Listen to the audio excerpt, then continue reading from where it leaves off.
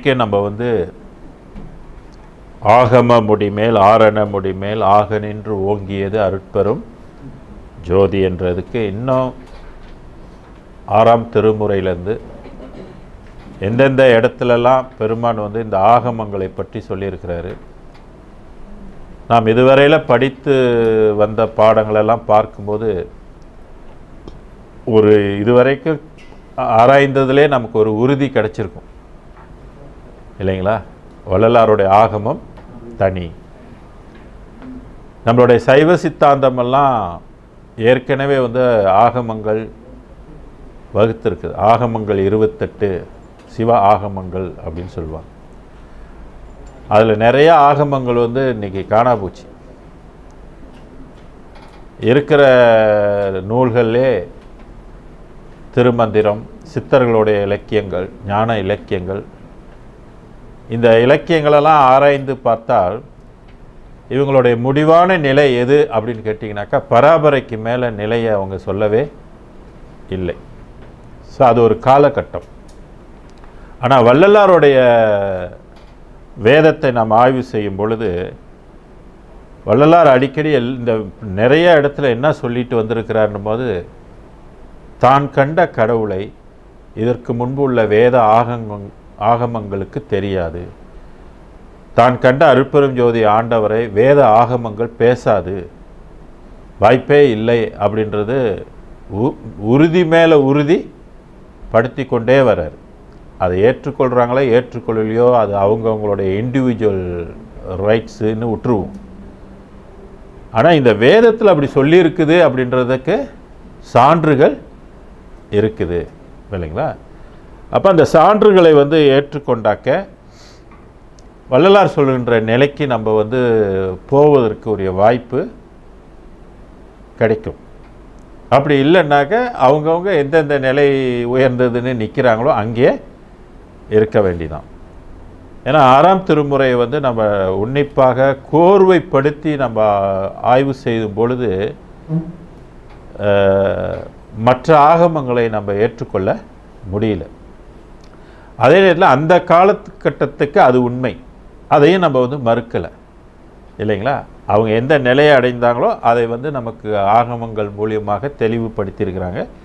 அந்த இடத்துக்கு தான் வரணும் அப்படின்னு நமக்கும் அழைப்பும் கொடுத்துருக்குறாங்க. ஆனால் வள்ளலார் என்ன சொல்கிறாரு அந்த இடத்துக்கு போயிடாதீங்கன்றார். வேண்டாம். அதை விட்டுடுங்க. அதில் லட்சியம் நீங்கள் வைக்க வேணாம். ஒரு ஆன்மா போய் வாழ வேண்டியது அந்த இடங்களெல்லாம் அல்ல. ஏன்னா அந்த இடத்துக்கும் மரணம் வரும். என்னுடைய அனுபவம் என்னுடைய அருள் மூலயமா நீங்கள் வந்து சேர வேண்டிய இடம் வந்து பெரும் வெளி சிற்றபை பொற்சபை என்றது வெளி. ஏன்னா பராபரிக்கும் அந்த சிற்றபை பொற்சபை என்பது உண்டு. இது அதிலிருந்து தனிப்பட்டதாக ஒன்றை வந்து குறிப்பிடுறதுன்றது நம்ம சான்றோடு பார்க்குறோம் அதை. அந்த சான்றுகளில் வந்து இன்னும் மேலும் உறுதிப்படுத்தக்கூடிய ஒரு பாடல் நூற்றி எண்பத்தி ஆறாவது பாடலை எடுத்து பாருங்கள் நூற்றி எண்பத்தி ஆறாவது பாடல். பேச்சு எழுபத்தி எட்டு. படிங்களேன் வேதநெறி ஆகமத்தின் நெறி பௌராணங்கள். பௌராணங்கன்னா புராணங்கள். பிரிச்சா புராணங்கள்னு வரும். நெறி புராணங்கள். விளம்பு நெறி இதிகாசம் விதித்த நெறி முழுதும் ஓதுகின்ற சூது அனைத்தும் உளவனைத்தும் காட்டி உள்ளதனை உள்ளபடி உரை உணர உரைத்தனையே. இறைவன் என்ன செஞ்சாராம் அவருக்கு? எல்லா வேத வேதத்தில் உள்ள நெறிகளையும் ஆகமத்தின் நெறிகளையும் புராணங்களில் உள்ள நமக்கு பதினெட்டு புராணங்கள் இருக்குது அன்னைக்கு புராணங்கள் இருக்க. இவர் நம்ம சேக்கிலார் பெருமான் தானே? புராணங்கள்லாம் அவர் தானே சேக்கிலார் பெருமானுடைய புராணங்கள். விளம்பும் நெறி இதிகாசம் விதித்த நெறி முழுதும் ஓதுகின்ற சூது. இதெல்லாம் என்னவா? சூது. சூதுன்னா என்னது?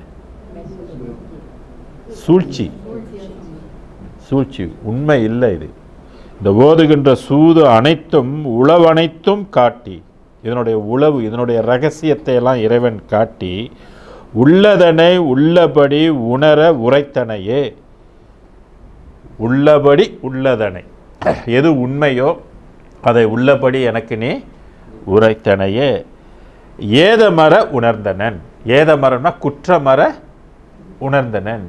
பெர்ஃபெக்டாக நான் வந்து ரொம்ப க்ளீனாக எல்லாத்தையும் உணர்ந்தனன் அப்படின்னு சொல்கிறாரு உணர்ந்ததுனால இனி வீண் போது கழிப்பதற்கோ எல்லளவும் எண்ணம் இல்லேன் எதில் இனிமேல் வேத ஆகமங்கள்லாம் நான் படிச்சுக்கிட்டு அதில் நாம் என் சிந்தையை செலுத்துறதுக்கு எள்ளளவு கூட நான் இனிமேல் ஏன்னா அந்த சூதெல்லாம் எனக்கு என்னான்னு தெரிஞ்சு போச்சு. இறைவன் எனக்கு அதை உணர்த்திட்டாரு. எது உண்மைன்னு எனக்கு காட்டிட்டாரு. அதனால் இனி புராணங்களை படிச்சுக்கிட்டு நான் அதில் பிரகாரம் போகணுன்றது அவசியம் எனக்கு இல்லை. இனி எல்லளவு கூட என்னோட நேரத்தை நான் வேஸ்ட் பண்ண விரும்பலை அப்படின்னு சொல்கிறார் எல்லளவும் எண்ணம் இல்லேன். என்னோடு நீ புணர்ந்து இறைவன் அவரோட கலந்து தீதரவே அனைத்தும் வல்ல சித்தாடல் புரிவாய். நீ இறைவன் இறைவன்ட்ட கேட்குற நீ வந்து என்னோட கலந்து சித்து ஆடல் புரிவாய். சித்தகனே சித்த சிகாமணியே என் திருநட நாயகனேனர் நான் அறுநூற்றி முப்பத்தி ஒம்போதாவதுல போய் பாருங்க. இந்த மறைகளுக்கு உள்ள இயல்பு என்ன? வேதங்கள் எல்லாம் என்ன சொல்லும்? எப்படி சொல்லும்? ஆ? கடவுளை பற்றி தான் சொல்லும். அப்படி சொல்லும்போது எப்படி சொல்லும்? ஏதோ நான் வந்து இவ்வளோ தூரம் கடவுளை பார்த்துருக்கேன். இதுக்கு மேலே கடவுள் இருக்குமா என்னமோ தெரியாது. என் காலம் வரைக்கும் நான் இதை கண்டேன். என்னுடைய முயற்சி வரைக்கும் என்ன இதை கண்டேன். என்னுடைய தவத்து வரைக்கும் நான் இதை கண்டேன். அப்படின்னு எதுவும் சொல்லி வச்சுருப்பாங்களா? இல்லை. ஒரு நிலையை அடைந்துட்டா அந்த வெளிகளுக்குரிய ஞானம் ஈகோ இருக்கு இல்லையா? அந்த வெளிகளுக்கெல்லாம் ஒரு ஈகோ இருக்குது எல்லாத்துக்கும் என்ன இருக்குது ஆய் என்று இருக்குது நான் என்ற ஒரு ஈகோ இருக்குது அப்போ அந்த நான் என்ற ஒரு நிலை இருப்பதனால எப்படி அதுங்களாம் வெளிப்படுத்தும் தன்னை? பெருமான் சொல்கிறாரு பாருங்க. தன்னிகர் இல்லா தலைவன் என்று அரட்டி. நான் அரட்டி அப்படின்னா என்னது? போஸ்டிங் பீத்திக்கிறது நான் தான் கிங் நான் எனக்கு மேலே கிங் இல்லை. I am the king I am the most king அப்படின்னு பேசுகிறதுனா போஸ்ட் பண்ணிக்கிறது. அப்போ அந்த வெளிகளுக்கு உரிய ஞானங்கள் வந்து எப்போதுமே எனக்கு தெரியாது அப்படின்னு எதுவுமே சொல்லாது. எனக்கு தான் எல்லாம் தெரியும். நான் தான் முடிவானது அப்படின்னு சொல்லும். அதான் அது அந்த வேதங்கள் அப்படி தான் எல்லாமே முழங்கும். அப்போ அந்த வேதத்தை படிக்கிறவங்க எப்படி எடுத்துக்கொள்வாங்க கருத்து? டெஃபினெட்லாம் என்ன நினைப்பாங்க? ஆமாம் எதை படிக்கிறாங்களோ இதுக்கு மேலே ஒன்றுமே இல்லை அப்படின்னு பேசுவாங்க. எப்போ அந்த கான்செப்ட் உடையும்? ஆ? மற்றதையும் நீங்கள் படித்து பார்க்கணும். வெளிகளை நீங்கள் படித்து பார்க்கணும். எந்த வெளியில் இது நின்று பேசுது? எத்தனாவது வெளி கடந்திருக்கிறாங்க?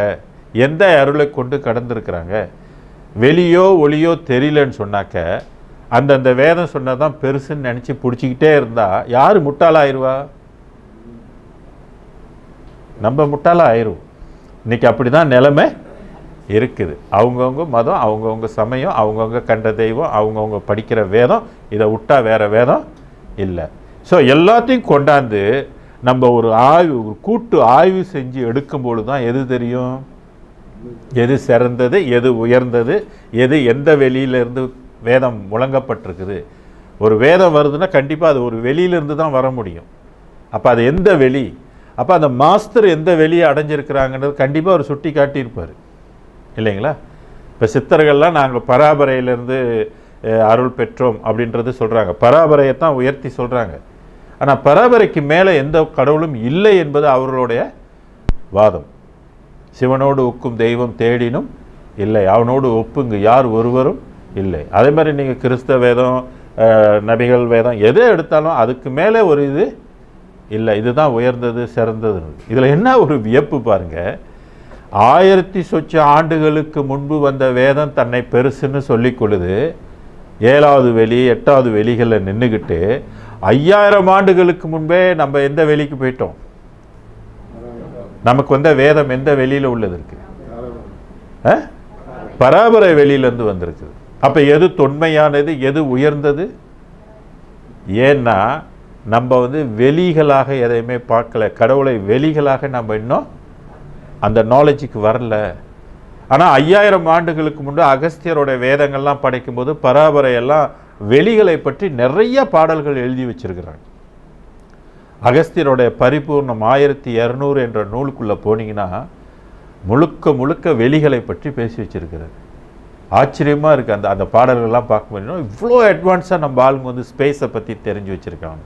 ஸ்பேஸ் வாழ்க்கையை பற்றி பேசிகிட்டு இருக்கிறாங்க அவங்க. ஆனால் நம்ம இங்கே என்ன பண்ணிகிட்ருக்கோம் இருக்கோம் உருவத்தில் வச்சு கும்பிட்டுருக்கோம் அதனால் நம்மகிட்ட உயர்ந்தது இருந்தும் அது வந்து எப்ரிஷியேஷன் பண்ண முடியாத நிலைமைக்கு போயிடுச்சு. ஏன்னா நமக்கு ஒரு அந்த வெளிக்கு உரியவங்களுடைய தலைவனுடைய திருவிழாலாம் நம்ம எப்படி கொண்டாடிக்கிட்டு இருக்கிறோம்? அவனுக்கு என்ன தூக்கிக்கிட்டு இருக்கிறோம்? ஆ?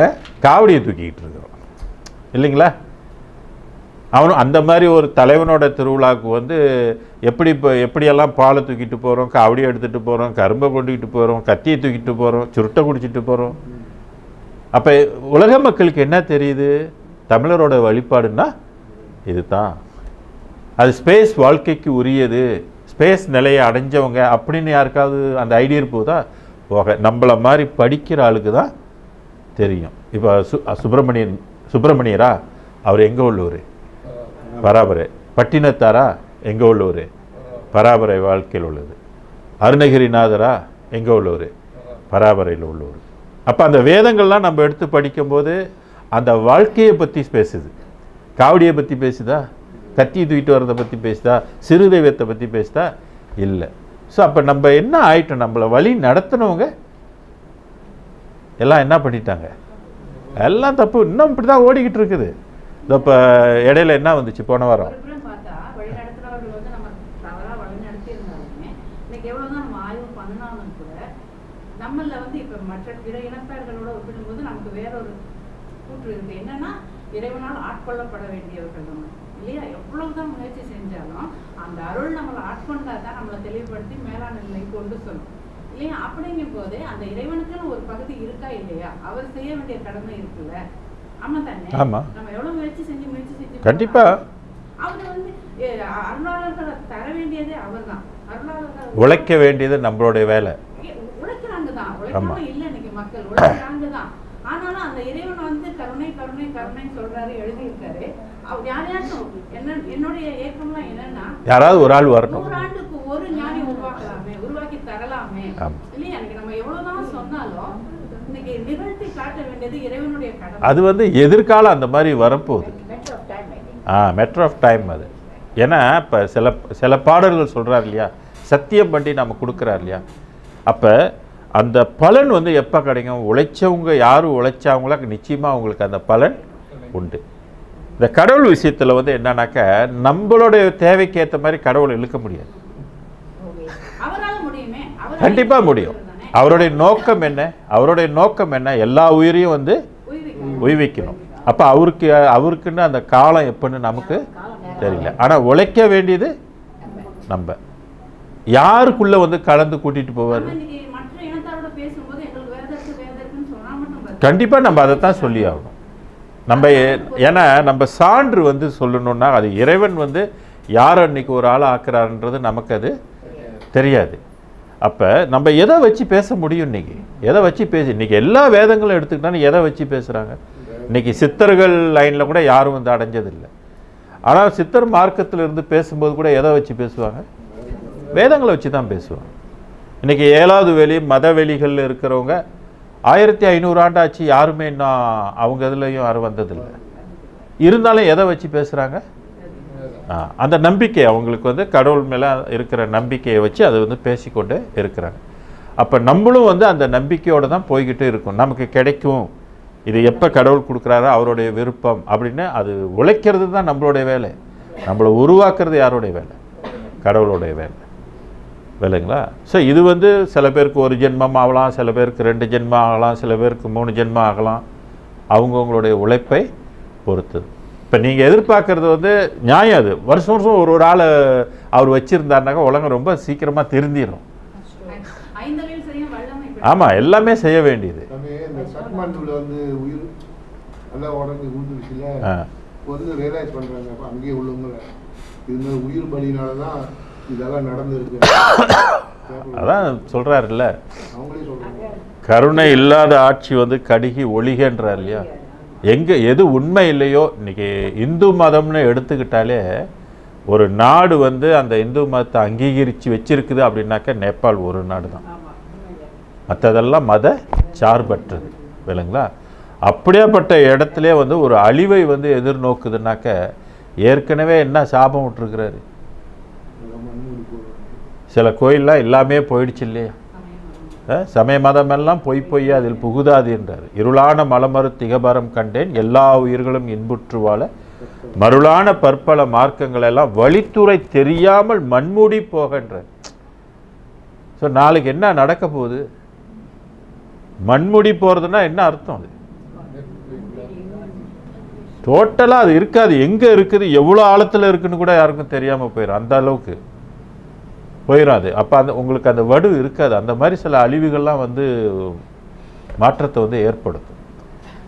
இல்லைங்களா அது வந்து மாற் மாற்ற முடியாது. ஏன்னா ஆட்சி வந்து வேறு.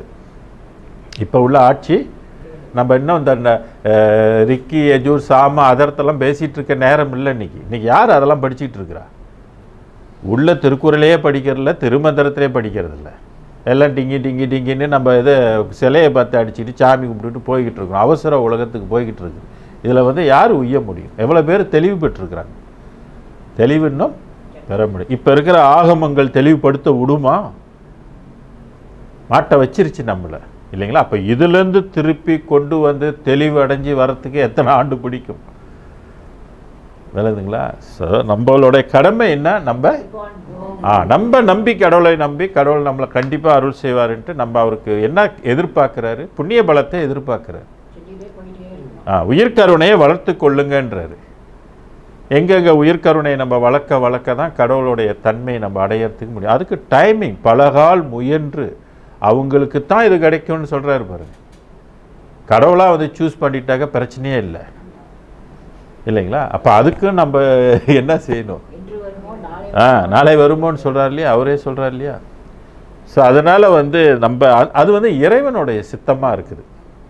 நம்ம சித்தமாக தான் நம்ம உடனேக்கு உடனே என்ன செஞ்சிடலாம்? ஒவ்வொரு ஆளை உருவாக்கிக்கிட்டே போயிடும் இந்த உலகத்தில் பாருங்கள் இன்ஜினியரை உருவாக்கலாம். லாயரை உருவாக்கலாம். டாக்டரை உருவாக்கலாம். பைலட்டை உருவாக்கலாம்.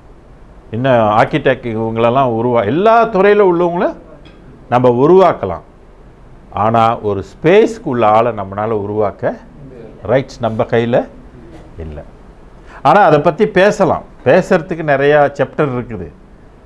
வேதம் இருக்குது. ஆனால் நம்ம அதை உருவாக்க முடியாது. யார் உருவாக்க முடியும்? கடவுள் தான் அப்போ கடவுளுக்கு தெரியுமா தெரியாதா? எப்போ உருவாக்கணும்? யாரை உருவாக்கணும்? எவ்வளோ இடைவெளியில் ஒரு ஆளை உருவாக்கணும்? யார் யாரெல்லாம் ஸ்டாண்ட் பாயில் வச்சுருக்கணும்? யார் யாரெல்லாம் ஸ்பீக் பண்ண விடணும்?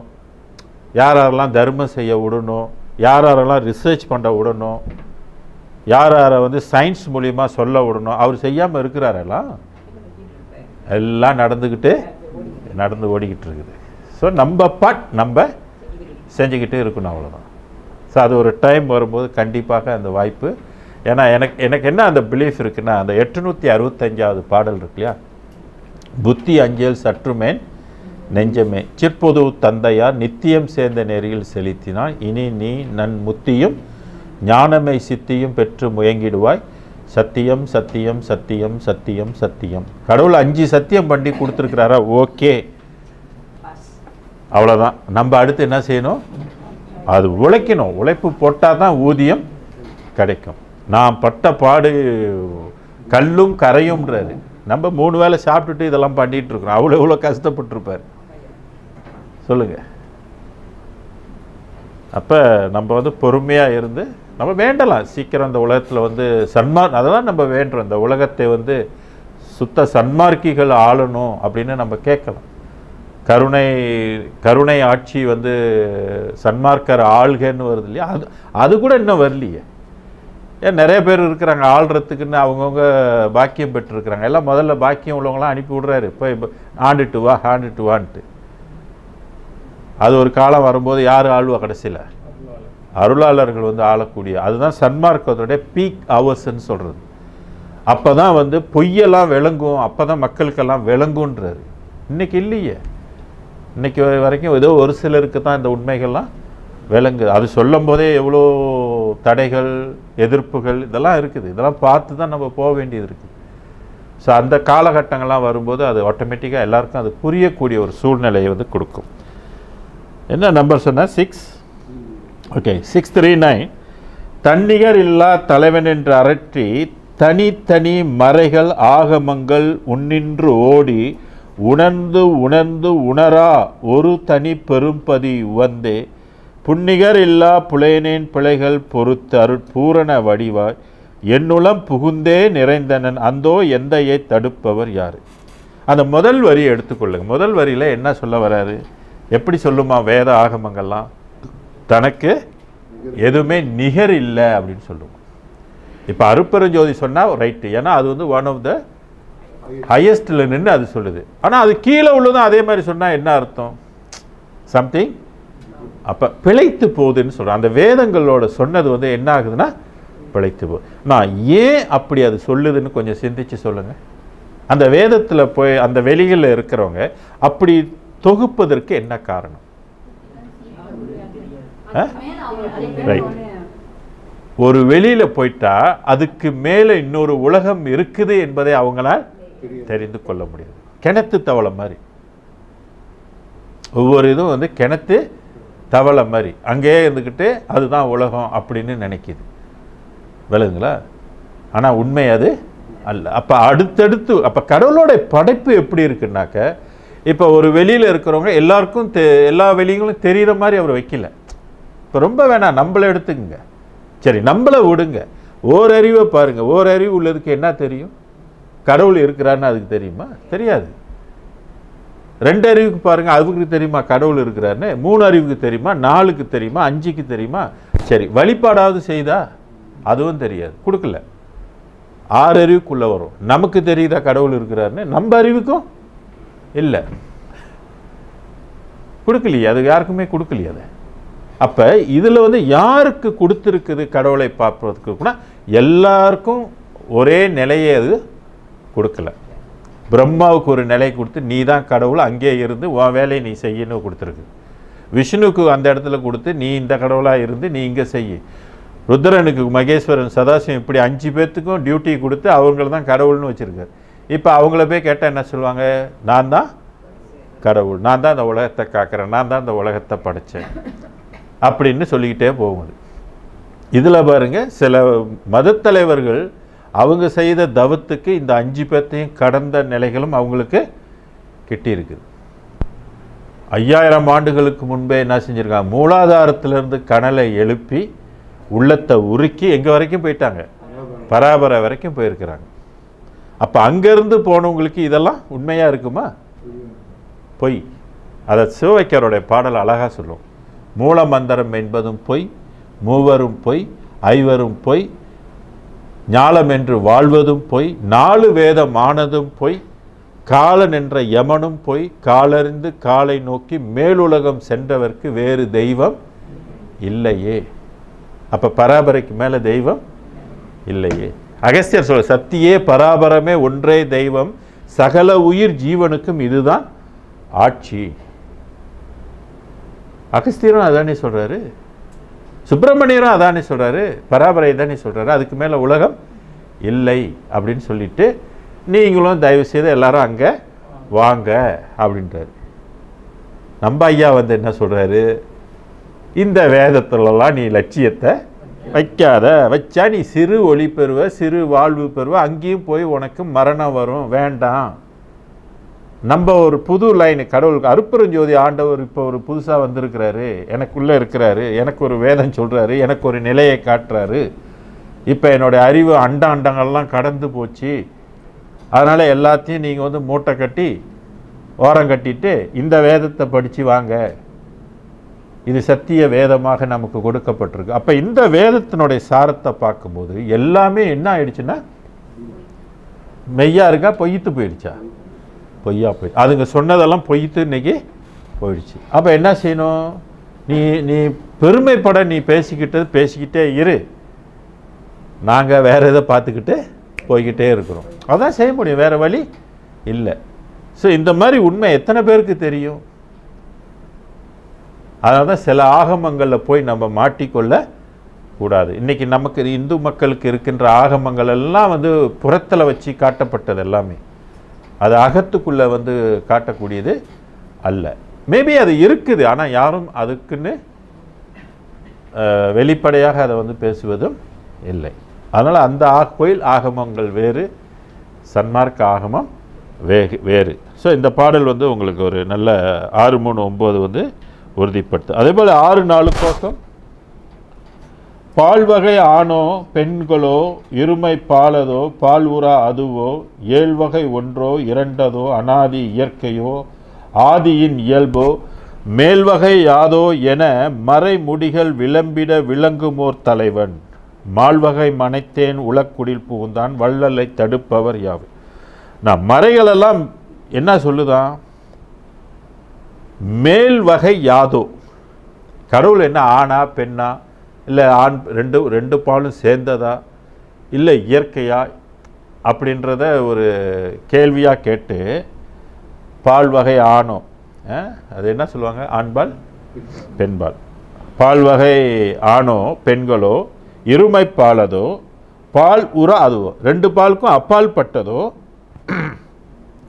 ஏழு வகை ஒன்றோ ஏழு வகை உயிரினங்கள் இருக்குல்ல அதில் ஒன்றோ இரண்டதோ அனாதியோ இயற்கையோ ஆதியின் இயல்போ மேல்வகை யாதோ என மறைமுடிகள் விளங்கிட விளங்குமோர் தலைவன். அப்போ மறைகளுக்கும் தலைவன் யார் என்பது? அந்த மறைகள் சொல்லப்படவில்லை.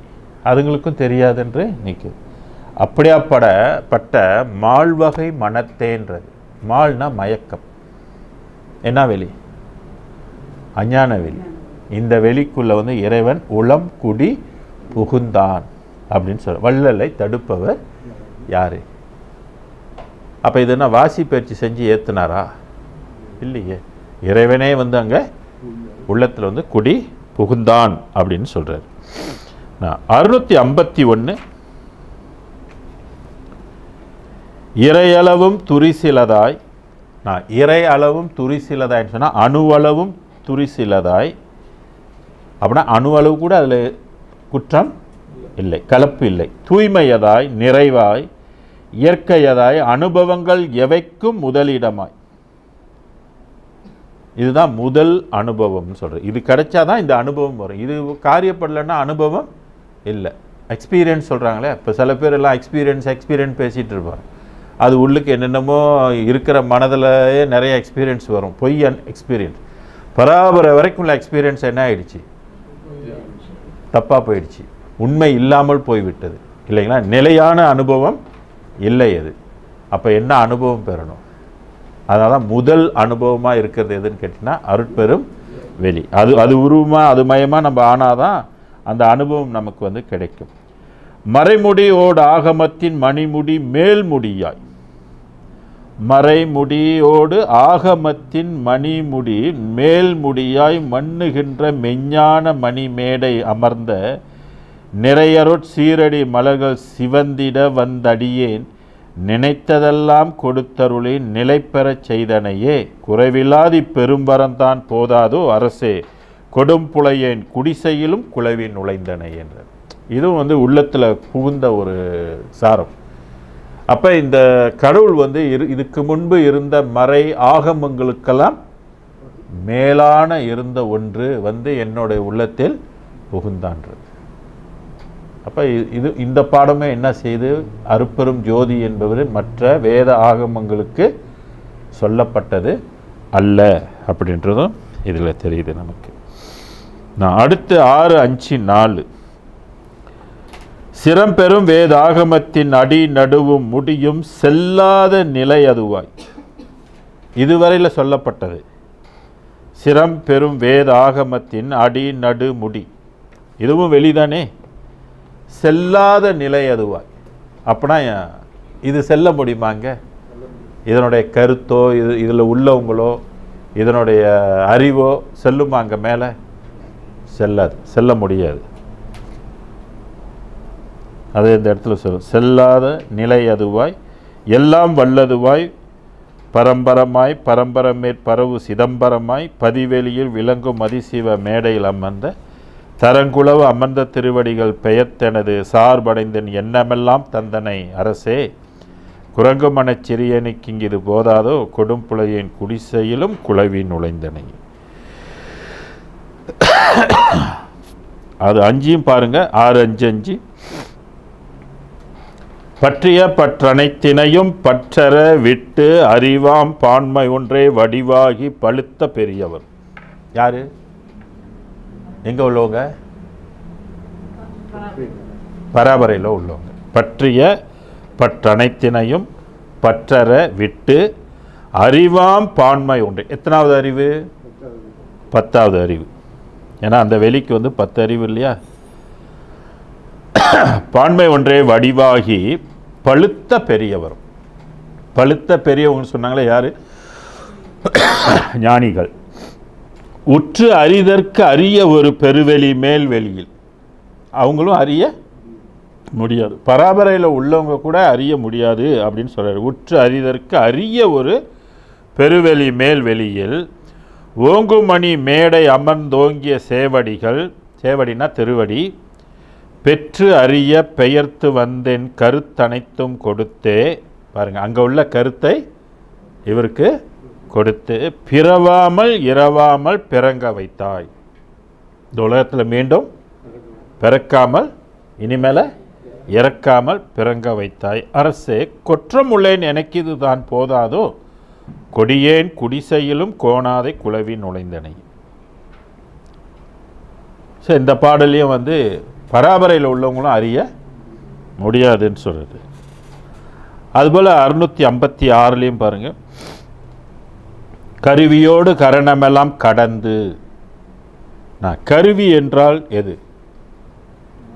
கரணம் மனம் புத்தி சித்தம் அகங்காரம். இது கருவியோடு கரணமெல்லாம் கடந்து கடந்து மேல் காட்சியெல்லாம் கடந்து அதன் மேல் காணாதது கடந்து ஒரு நிலையின் அனுபவமே உருவாகி பழுத்த உணர்ச்சியினும் காணாமல் ஓங்கும் ஒரு வெளியில். யார்?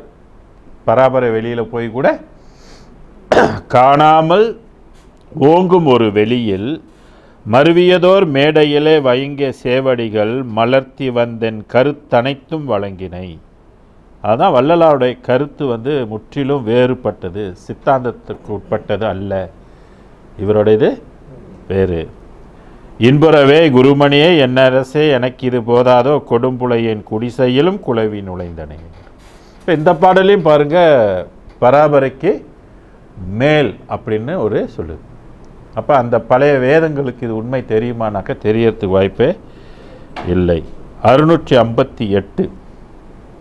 விரித்தனை கருவியெல்லாம் விரிய வேதம் விதித்தனையினர்.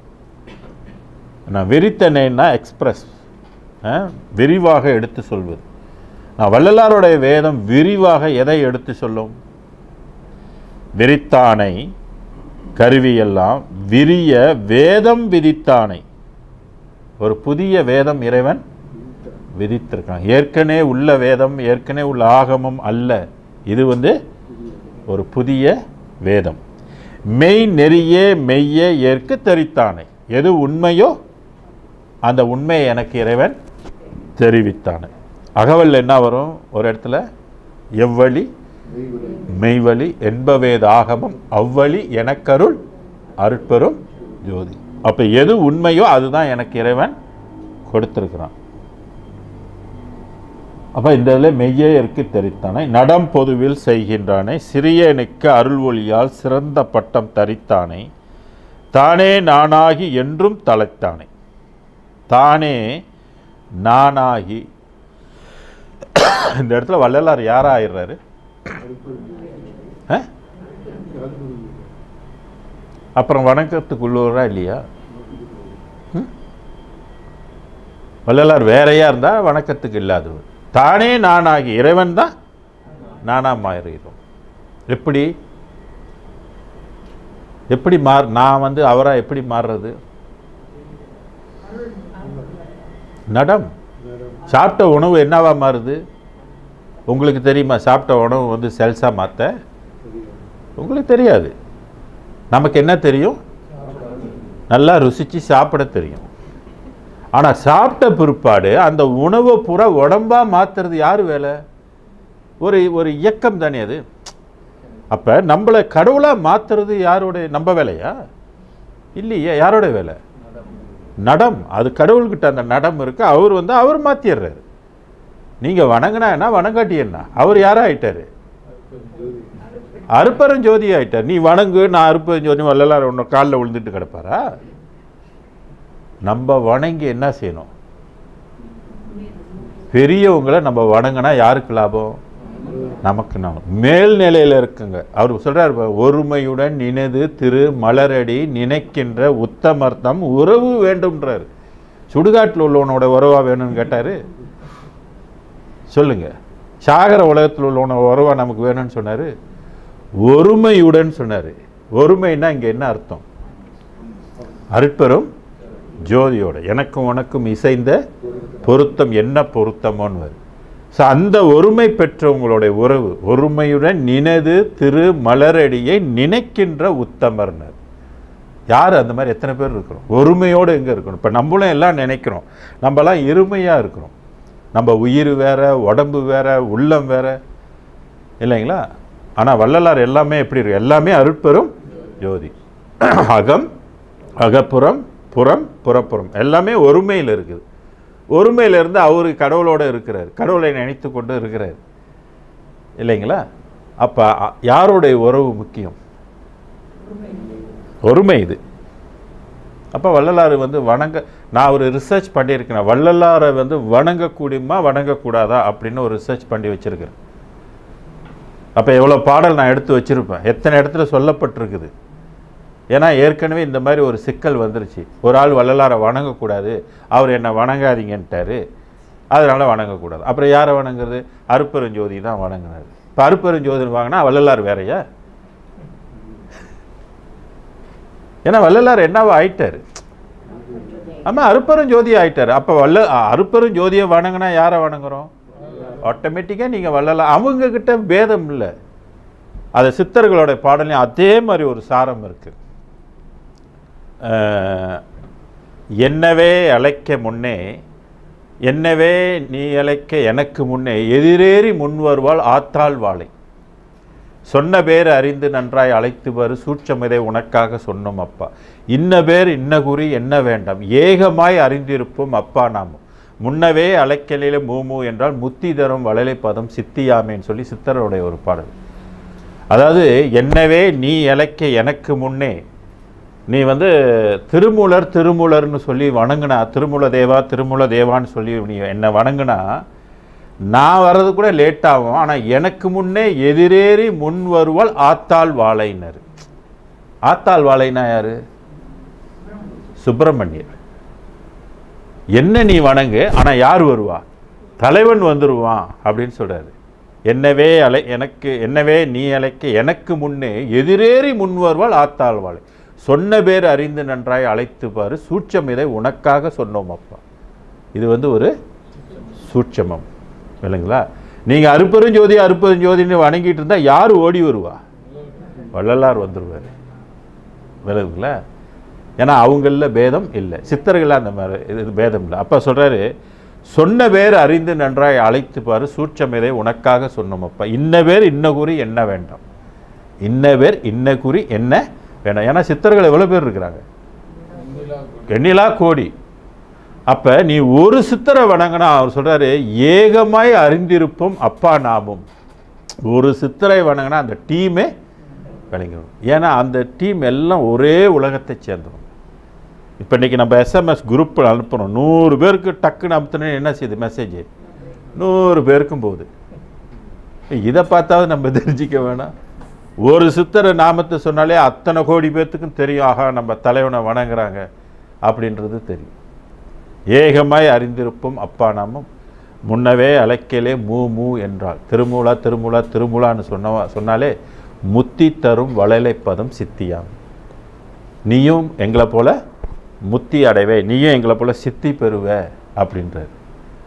வள்ளல் பெருமான் என்ன சொல்கிறாரு நினைந்து நினைந்து உணர்ந்து உணர்ந்து நெகிழ்ந்து நெகிழ்ந்து அன்பே நிறைந்து நிறைந்து அருள் உள்ளுக்கு பூந்துட்டா என்ன செய்கிறோம் ஊற்றலும் கண்ணீர் அதனால் உடம்பு நனைந்து நனைந்து அருளமுதே நன்னிதியே ஞான நடத்தரசே என்னுரிமை நாயகனே என்று வணைந்து வணைந்து திரும்பி திரும்பி போற்றுன்றார்.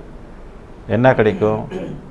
மரணமில்லா பெருவாழ்வில் வாழ்ந்திடலாம் கண்டீர் புனைந்துரையேன் பொய்ப்புகளேன் சத்தியம் சொல்கின்றேன். சிற்றபையில் பொற்சபையில் புகுந்தருணம் இதுவே. இதுக்கு முன்பு அங்கே யாரும் புகுந்து போக வாய்ப்பு இல்லை அப்படின்றது அந்த இடத்துல வந்து சொல்லிக்கிறது.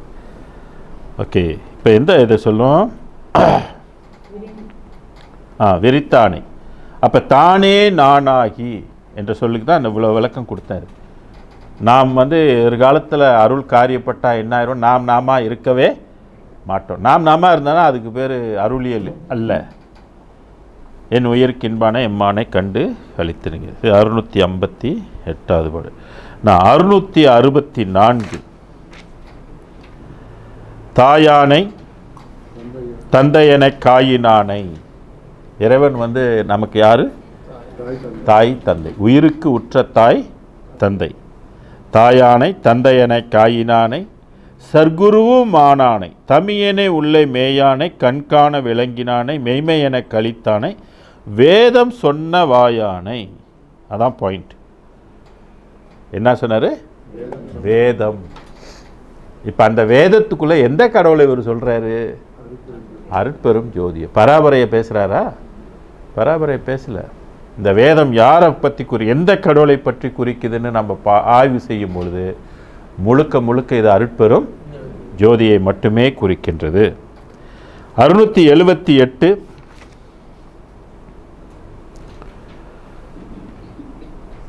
திருத்தகு வேதாந்தமோடு சித்தாந்தம் முதலாம் திகழ்கின்ற அந்தமெல்லாம் தேடியும் கண்டறியா ஒருத்தனை.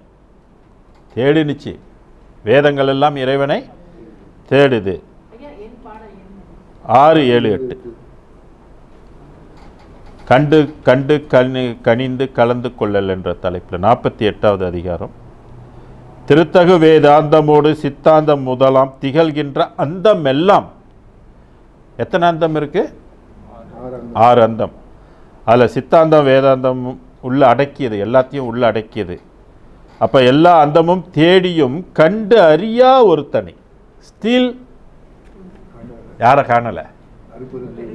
அருப்பெரும் ஜோதியை கண்டு அறியல. எவ்வளோ தெளிவான ஒரு வரி இது சொல்கிறது அப்புறம் எப்படி இது வந்து இறை வள்ளலார் வந்து சொல்கிறது கடவுள் வந்து வேதங்களில் சொன்னதான் சொல்ல முடியும்னு எப்படி நம்ம எடுத்துக்கிறது? உள்ளொளியை ஒளி ஒளிக்குள் ஒளியை. உள்ளொளி அந்த ஒளிக்குள் ஒரு ஒளியை. உள்ளபடி உள்ளவனை உடைய பெருந்தகையை நிறுத்தனை மெய்ப்பொருளான நின்மலனை சிவனை. இங்கே இவர் சொல்கிற சிவன் யாரு? அருட்பெரும் ஜோதி. அவங்க கண்ட சிவன் வேற இவர் சொல்கிற சிவன் வேறு. விளங்குதுங்களா? ஓ இங்கே சிவன் வந்துருச்சு. ஸோ அந்த சிவனை தான் சொல்கிறாரு அந்த சிவனை தான் எல்லாரும் பார்த்துட்டாங்களே கண்டுட்டாங்களே கலந்துட்டாங்களே. இல்லைங்களா? அப்போ இங்கே சிவனை நித்தியனை சத்தியனை நிர்குணனை நான் ஏற்கனவே உள்ளது நித்தியமா? சத்தியமா? என்னாச்சு அது? இது காரியப்பட்டா என்னாச்சு? அனித்தியமாக கரைஞ்சி போய்விட்டது. சான்று இருக்கு இல்லையா? ஒன் ஒன் சிக்ஸ் எயிட்டில் வந்து அந்த சான்று இருக்குது. அதனால தான் சொன்னார் நித்தியனை சத்தியனை. நீங்கள் அதை வந்து பழசு சொல்ல முடியாது நித்தியம் சத்தியம்லாம் சொல்ல முடியாது. ஏன்னா வள்ளலாருடைய அருளுக்கு அது என்ன ஆயிடுச்செல்லாம் கரைந்து போய்விட்டது. அப்போ கரைஞ்சி போயிடுச்சுனாக்கா அட்டகத்திலையும் உறுதிப்படுத்துறாரு. இதுக்கு மேலே நாங்கள் போனால் எங்களோட உயிரும் உணர்வும் கரைந்து போயினம் என்று அத்தகை உணர்ந்தோர் வலுத்த நின்றோங்கும் அருட்பெரும் ஜோதியன் அரசேன்னுவார். அவங்க சொல்கிறாங்களா அந்த மாதிரி? அப்படி உள்ளதை இவர் வந்து பதிவு பண்ணியிருக்கிறார். அப்போ இது வந்து நித்திய சிவம் அல்ல அப்படின்பது அதனுடைய இதுவரையில் கண்டது நித்தியம் அல்ல அனித்தியம் அப்படின்னு தெரியுது. எனது கருத்தனை சிற்றபை ஓங்கும் கடவுளை அதையும் பாருங்க எங்கே ஓங்குகின்ற கடவுள்? சிற்றபையில் ஓங்குகின்ற கடவுள். சிற்றபைகள் விளங்குகின்ற தெய்வம் அதே தெய்வம். வேற அதெல்லாம் அவருக்கு வந்து தெய்வம் இல்லை. தெய்வமாக எடுத்துக்கொள்ள. அப்படிப்பட்டவரை என் கண்ணால் மற்றவங்க காணாதது. என் கண்ணால் கண்டு கொண்டேன் மற்றவங்க கண் கொண்டு காண முடியுமா? பராபரை கண் கொண்டு பார்க்க முடியுமா? ஆரந்தத்தில் உள்ளவங்க எட்டி நின்று பார்த்தாலும் எட்டாது. அவங்களுக்கு தெரியாது. அப்போ கண்ட வரைக்கும் என்னன்னு சொல்கிறார் வள்ளல் பெருமாள். கண்டதெல்லாம் அனித்தியம். இதுவரை கண்டதெல்லாம் அனித்தியம். நான் ஒண்டிதான் நித்தியத்தை கண்டேன் அப்படின்னு ஒரு சொல்கிறார் கேஸ் போட போகிறோமா சொல்லுங்கள் அது எப்படி இவர் கண்டது மட்டும்தான்? நித்தியம் அப்படின்னு. நம்ம போய் பார்த்தா தான் தெரியும் அந்த உண்மை. எங்கேருந்து எல்லாம் கவனிக்கணும்? எந்த நிலையிலேருந்து பார்க்கணும்? அவருடைய நிலையிலிருந்து பார்த்தா தான் அந்த உண்மை விளங்கும். ஏன்னா அவங்க பொய் சொல்ல வேண்டிய அவசியம் இல்லை. அப்போ இதில் நம்ம என்ன தெரியும்னா கடவுள் எப்படி கேம் விளையாடுறாரு? மனிதனை இந்த உயிர்களை படைத்து இந்த உலகத்தை படைத்து பஞ்சபூதத்தை படைத்து இப்படி ஒரு ஸ்ட்ரக்சர்ஸை நமக்கு கொடுத்து நமக்குள்ளே உள்ளுக்கு இன்னொரு ஸ்ட்ரக்சர்ஸை வச்சு அந்த ஸ்ட்ரக்சர்ஸ்குள்ளே இப்படி நான்கு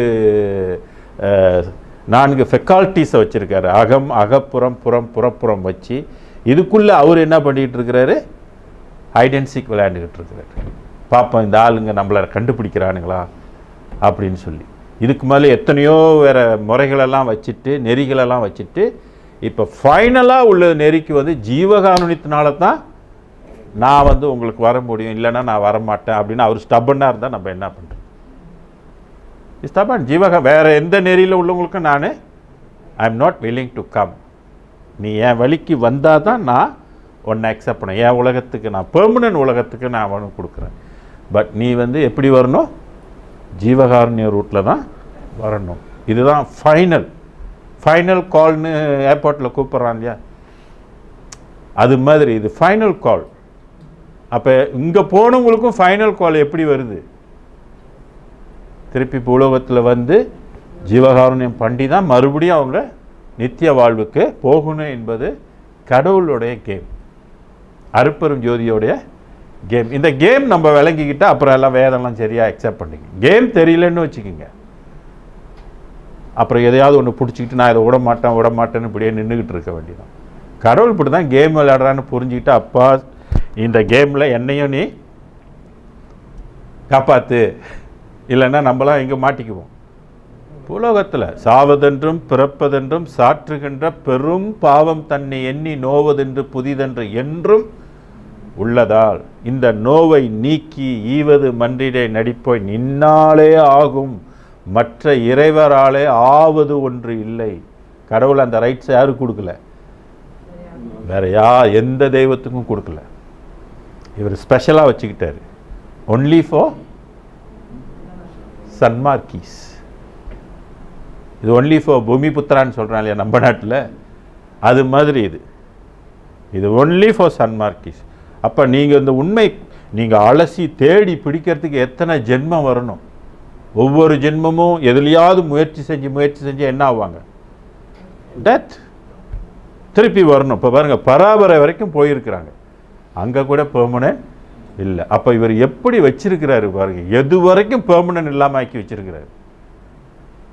அப்போ நம்ம எவ்வளோ ஸ்மார்ட்டாக இருக்கணும்? நல்ல வேளை இந்த வேதம் வந்துச்சுங்க. இந்த வேதம் இல்லைன்னா இன்னும் என்ன ஆயிரும்? நம்ம ஏதோ நம்ம பாட்டுக்கு ஒன்று பண்ணிக்கிட்டு இருப்போம். அதுதான் வழி அதுதான் இதுன்னு போய்கிட்டு இருப்போம். சிக்கிக்கிட்டு கிடப்போம். ஆனால் இறப்பு இறப்பு பிறப்பு இறப்பு பிறப்பில் ஒடியாந்துக்கிட்டே இருப்போம். இன்றைக்கி அப்படி தான் ஓடிக்கிட்டு இருக்குது. ஏன்னா இந்த வேதம் எடுத்து சொல்கிறதுக்கு ஆள் இல்லை. கடவுளோட கேமை யாரும் எப்படி கேம் விளையாடுறாருன்றதுக்கு அந்த கேமு இல்லை.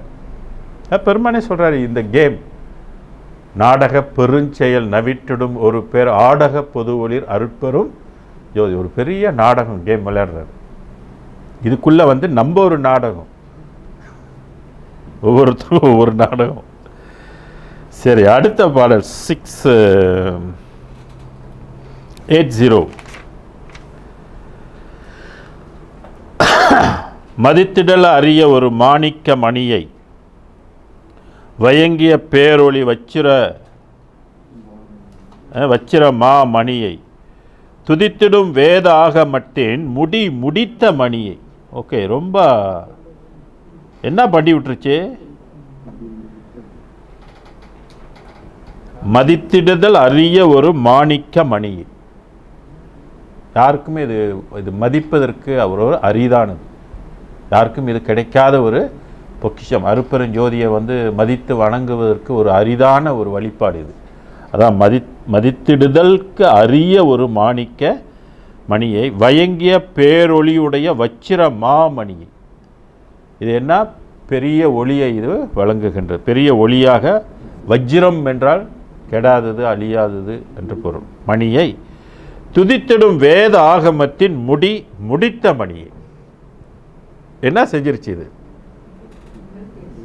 இதுக்கு முன்பு உள்ள வேத ஆகமத்தின் முடியை ஆட்சியை இது என்ன செஞ்சிருச்சு?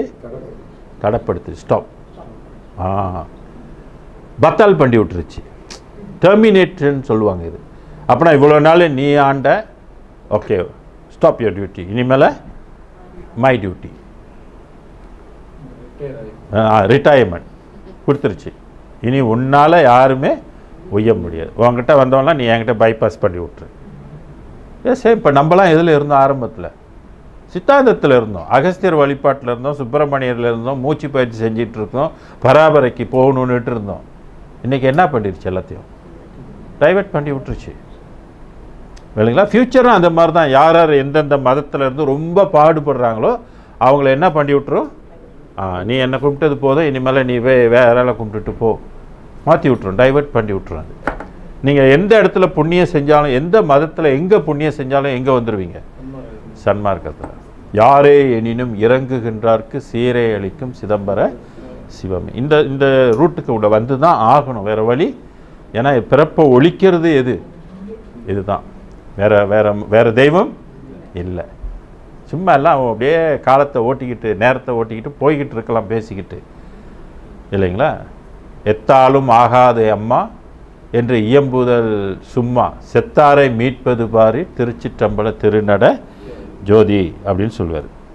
ஆக இது வந்து முடித்திருச்சு அப்படி. இதே மாதிரி இந்த புக்கில் வந்து எங்கெங்கெல்லாம் டெர்மினேட் பண்ணிருச்சு அப்படின்னு ஒரு ஆய்வு பண்ணலாம்.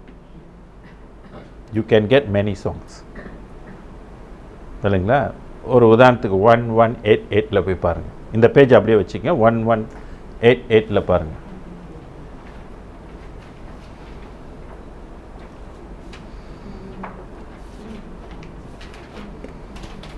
மான் முதல வழக்கெல்லாம் தீர்த்து அருளி.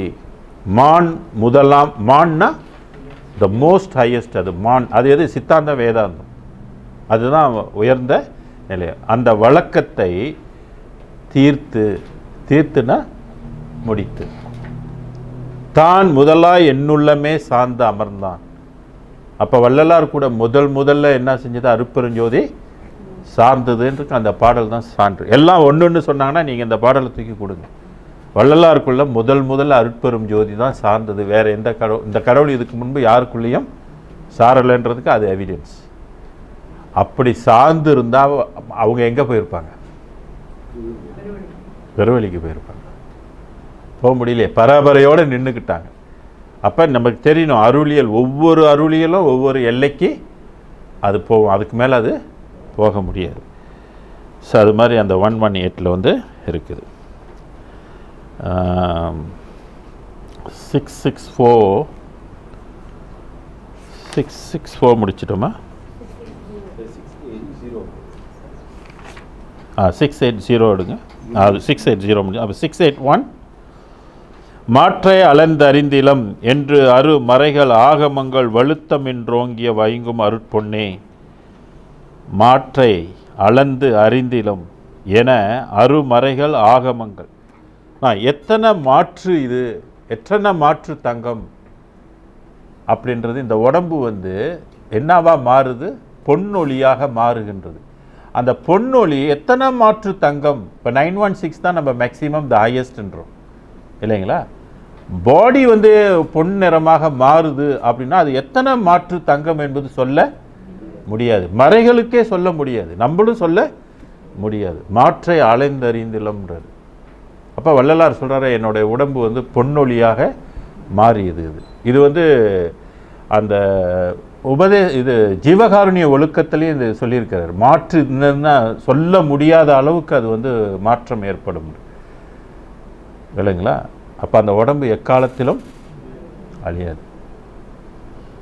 கோல்டன் பொன்னுடம்பாக அது மாறி வரும்னு சொல்லுது அதுபோல் எண்பத்தி ரெண்டு ஆய்த்தரு வேத ஆகமத்தின் அடி முடி நின்று இளங்கும் அரிய பெரும் பொருளே. அவை கனுபமமாம் பொருளை. வேத்தரு தத்துவ பொருளை. தத்துவங்கள் விளங்க விளங்குகின்ற பரம்பொருளை. தத்துவங்கள் அனைத்தும் தோய்த்தரல் இல்லாத தனி சுயஞ்சோதி பொருளை. சுத்த சிவமான சுகாதீத பொருளை காய்த்தரல் இல்லாதென்னை காத்த அருட்பொருளை கண்டு கொண்டேன் கணிந்து கொண்டேன் கலந்து கொண்டேன்றார். இது என்ன அதுனாக்கா பொருள். பொருள் பொருள் என்ற தலைப்பில் வச்சு இதை சொல்கிறாரு ஆறு எட்டு ரெண்டு. இது என்ன பொருள்னாக்கா? ஒரு உண்மை பொருள். இந்த பொருள் எக்காலத்திலும் எதனாலையும் அழிக்கப்பட முடியாத ஒரு பொருள். இதை இதை பற்றி பேசுகின்ற வேத ஆகமம் இது மெய்ப்பொருளை பேசுகின்ற ஒரு வேத ஆகமம்.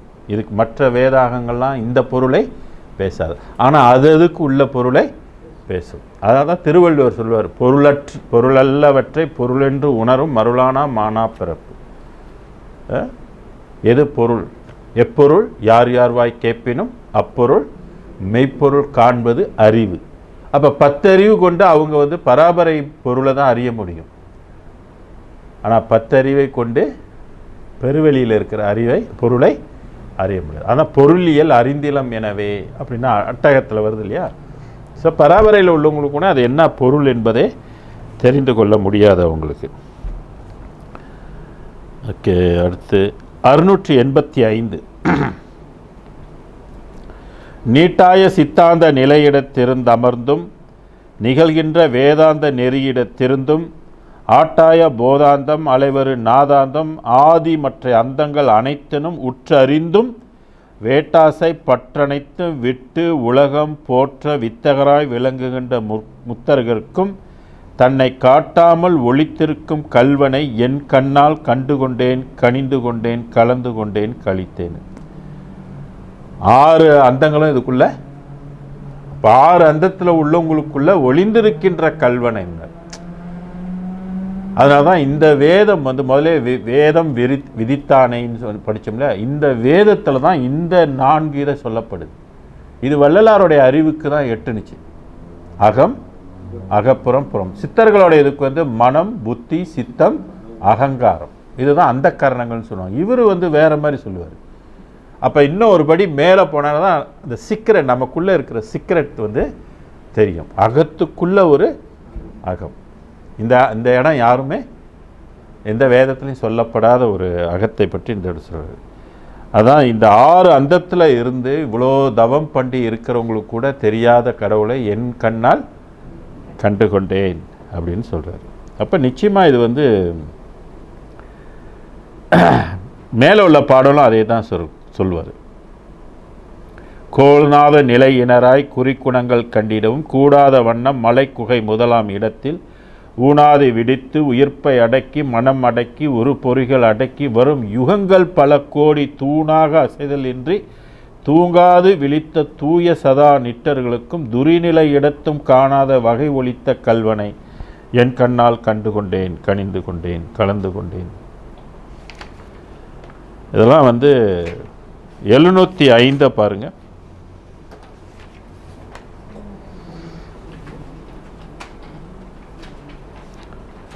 சமயமும் மதமும் கடந்ததோர் ஞான சபை நடம் புரிகின்ற தனியை தனியைனால இது தனியாக இருக்கின்ற ஒன்று. எதை எதெல்லாம் கடந்துருச்சு?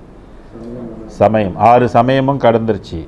மதம் ஆறு அந்தங்களும் கடந்துருச்சு. ஞான சபை நடம் புரிகின்ற தனியை தமை அறிந்தவருட் சார்ந்த மெய்ச்சார்வை யார் யாருக்குள்ள அமரும்? தமை அறிந்தவர். முதல்ல அரு அருப்பெரும் ஜோதியை நம்ம வந்து விளங்கி கொள்ளணும். இவர் யார்? இவர் எந்த வெளி? இவருடைய ஆற்றல் என்ன? இவருடைய குணம் என்ன? இவருடைய திறம் என்ன? இவருடைய தரம் என்ன? எதை கடந்து இருக்கிறாரு? எது உள்ளுக்கெல்லாம் ஊடுருவி இருக்கிறாரு? யார் யாருக்கெல்லாம் தெரியாமல் இருக்கிறாரு? இவர் என்ன எதிர்பார்க்குறாரு?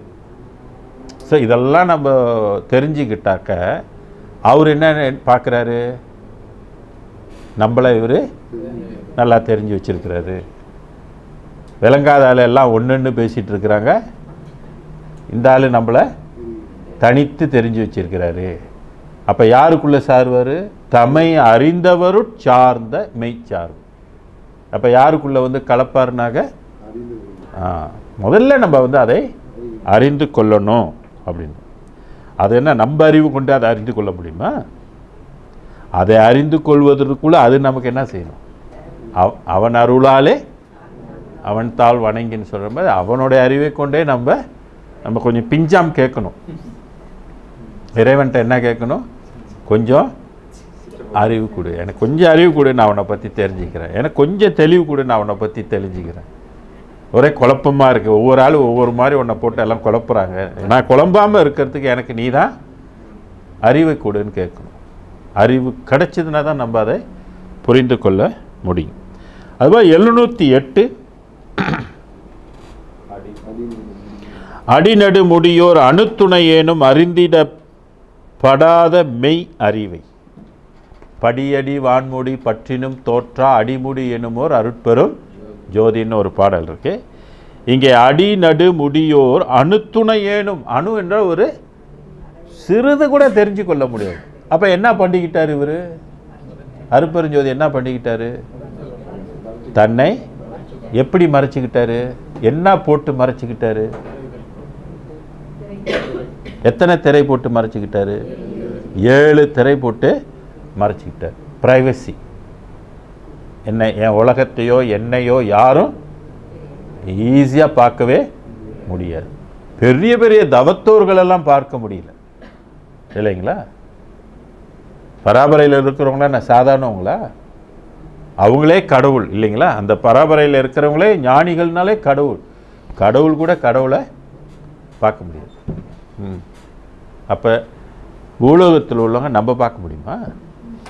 சான்ஸ் யாருக்கு கொடுக்குறாரு பார்க்கறதுக்கு?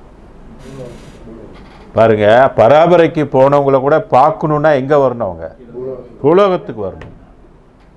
அப்போ அவர் அவர் என்ன மாதிரியான கிரேட்டாக இருக்கிறாரு. இப்போ யார் பார்க்கறதுக்கு சத்தியம் பண்ணி கொடுத்துருக்கிறாரு? நம்ம அவரை பார்க்கறதுக்கு உரிமை இருக்கா? நமக்கெல்லாம் உரிமை இருக்குது. நம்ம உரிமையோட I want to see I want to come to your world அப்படின்னு நம்ம உரிமையாக கேட்கலாம். ஏன்னா நம்ம அவருடைய பிள்ளை. நம்ம அவரோட பிள்ளை. அதனால் நியாயத்துக்கு நம்ம எல்லாம் அங்கே தான் போகணும். அவரோட கேமில் எல்லாத்தையும் எங்கே கொண்டாந்து வைக்கணும்னு விரும்புகிறாரு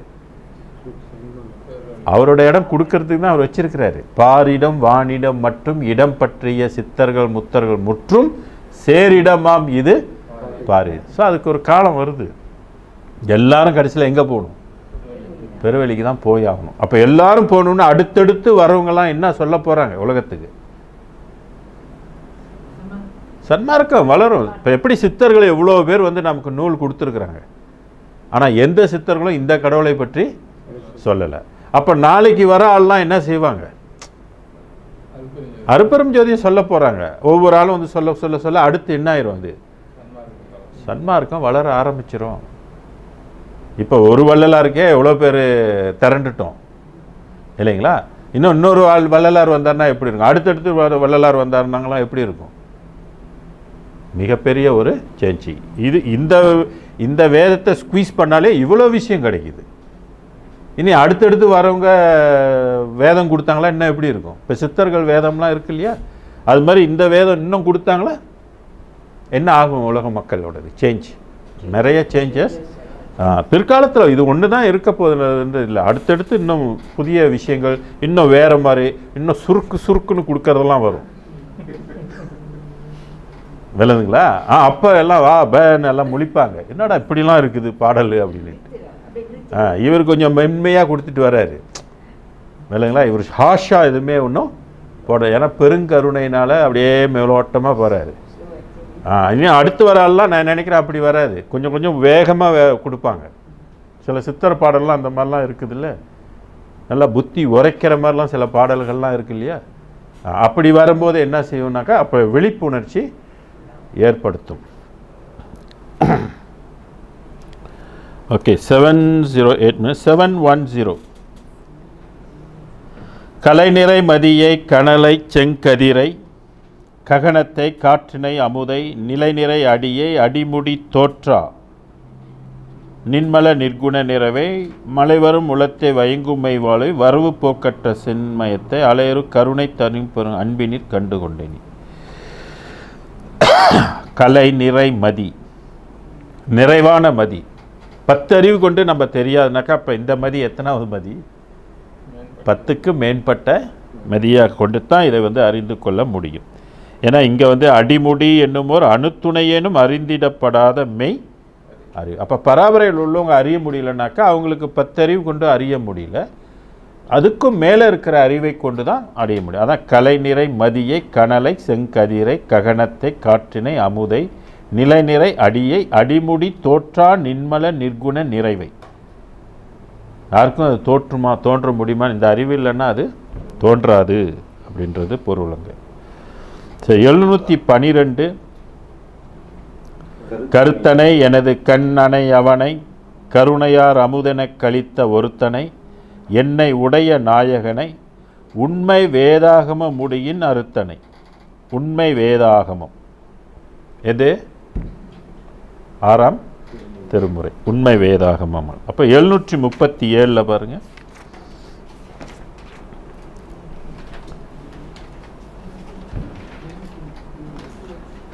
இதில் என்ன சொல்கிறாரு பொருட்சாறு மறைகளெல்லாம் போற்றுகின்ற தெய்வம். எல்லா மறைகளும் என்ன செய்தான்? போற்றுகின்றதான் அருப்பெரும் ஜோதியை எல்லா வேதங்களும் போற்றுறான் ஒன் ஆஃப் த மோஸ்ட் ஹையஸ்ட்னு சொல்லி. இப்போ இதெல்லாம் வந்து எல்லாம் ஒன்றுன்னு நம்ம சொல்ல முடியுமா? சொல்கிறதுக்கு வாய்ப்பே இல்லை. எழுநூற்றி நாற்பத்தி நான்கு. தூண்டாத மணி விளக்காய் துலங்குகின்ற தெய்வம். நம்ம நம்ம விளக்கெல்லாம் முதல்ல கேட்டிங்களே எந்த விளக்கு எந்த ஒளி? இங்கே என்ன சொல்கிறாரு தூண்டாத மணி விளக்காய். நம்ம ஊற்றி வச்சு எண்ணெய் ஊற்றணும் திரி போடணும் அப்புறம் திரியை மாற்றணும் எஸ் இது தூண்டாது நீங்கள் தூண்ட வேண்டியது இல்லை. அது பை இட்ஸ் அதுக்கு என்ன வேணுமா? காற்று வேணுமா? ஆக்சிஜன்லாம் இது ஆக்சிஜன் இல்லைன்னா எரியாது. இல்லைங்களா? அப்போ இங்கே சொல்கின்ற ஒளி என்ன? ஒளி ஆயிடுச்சு. தூண்டாத மணி விளக்கு மனிதனால் அது தூண்டப்பட வேண்டியது. தூண்டாத மணி விளக்காய் துலங்குகின்ற தெய்வம் துரிய தெய்வம் அரிய தெய்வம் பெரிய பெரும் தெய்வம். வாட் இஸ் துரிய தெய்வம்னா என்ன? துரியம் என்பது அந்த வெளிகளுக்குள்ள இருக்கிற அடி நடு முடி. கான்ஷியஸ் இன்ன கான்ஷியஸ் சப்கான்ஷியஸ் சப்கான்ஷியஸ்க்குள்ளே இருக்கிறது. இல்லைங்களா? இப்போ நம்ம வந்து அன்கான்ஷியஸ் ஸ்டேஜ்க்கு போயிடல துரியத்தில் நம்மலாம் என்ன செய்கிறோம் தூங்குறோம். ஸோ வெளிகளுக்குள்ளே என்ன இருக்குதுனாக்க கான்ஷியஸ் இன்ன கான்ஷியஸ் சப்கான்ஷியஸ் இருக்குது. அதில் இது வந்து துரிய நிலையில் உள்ள தெய்வம் அரிய தெய்வம் பெரிய பெரும் தெய்வம். மாண்டாரை எழுப்புகின்ற மருந்தான தெய்வம் மாணிக்க வள்ளியை ஓர் வளத்தில் வைத்ததும் ஆண்டாரை ஆண்ட தெய்வம். ஆண்டவங்களாம் யாரு? பிரம்மா ஒரு ஆட்சி இருக்குது விஷ்ணுவுக்கு ஒரு ஆட்சி இருக்குது ருத்ரனுக்கு ஒரு ஆட்சி இருக்குது மகேஸ்வரனுக்கு சதாசிவனுக்கு மதத்தலைவருக்கு பராபரை வரைக்கும் எல்லா வெளிகளுக்கும் ஆளுகின்ற ஒரு ஒரு வேலை இருக்குது தன்மை கொடுத்துருக்குது ஆளுகின்ற நான் இது எல்லாத்தையும் சேர்த்து எது ஆளுது? அருட்பெரும் ஜோதி. ஆண்டாரை ஆண்ட தெய்வம் அருட்ஜோதி தெய்வம். அப்போ அருட்ஜோதி தான் எல்லாத்தையும் ஆளுகின்றது. ஆகம வேதாதி எல்லாம் அறிவறிதாம் தெய்வம். ஆகம வேதாகதங்கள் வேத ஆகமங்களுக்கெல்லாம் இது அறிந்து கொள்வதற்கு அரிதான தெய்வம். சரிதானே? அப்போ அவர் சொல்கிறது இந்த இது ஏற்கனவே உள்ள வேத ஆகமங்களுக்கெல்லாம் இந்த கடவுளை தெரியாது. அப்போ என்ன செஞ்சுக்கிச்சு இது? தன்னை மறைச்சு. எப்போ காட்டுது? யார் மூலியமா காட்டுது? பத்தொன்பதாம் நூற்றாண்டில் தான் இவர் வராரு உலகத்துக்கே. இனி நம்மளுடைய ஆட்சி நம்ம வழி நடத்தும் அந்த உலகத்தை இவ்வளோ தூரம் வந்து எல்லாத்தையும் மறைச்சி போட்டு வச்சாச்சு. மறைச்சதும் இதுக்கு தெரியும். இதுக்கு தெரியாதது எதுவுமே இல்லை. என்ன செய்யறது? நம்ம ஒன்றும் பண்ண முடியாது. காட் நோஸ் எவ்ரி திங் முதல்ல எல்லாம் அனித்தியத்தை கொடுத்துட்டு ஃபைனலாக தான் இவர் என்ன செய்கிறாரு இவர் வர்றாரு. இப்போ எல்லாத்தையும் விட்டுட்டு யாரை பிடிக்கணும்?